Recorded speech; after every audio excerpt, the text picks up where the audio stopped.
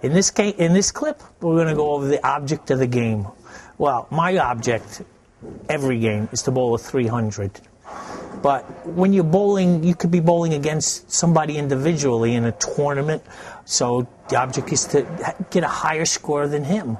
Uh, you bowl in league play where you have three, four, five different members on your team. The object is for your team to score more points or more pins than their team.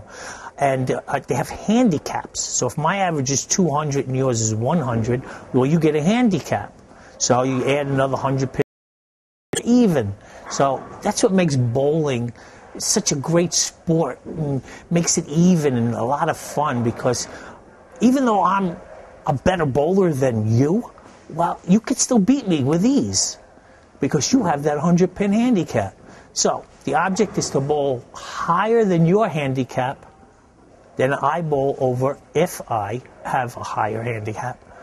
So that's the object of the game. And throw as many strikes as you can and make every spare. And don't throw a split. You don't want to throw a split. Strike, strike, strike, strike, strike, strike, strike.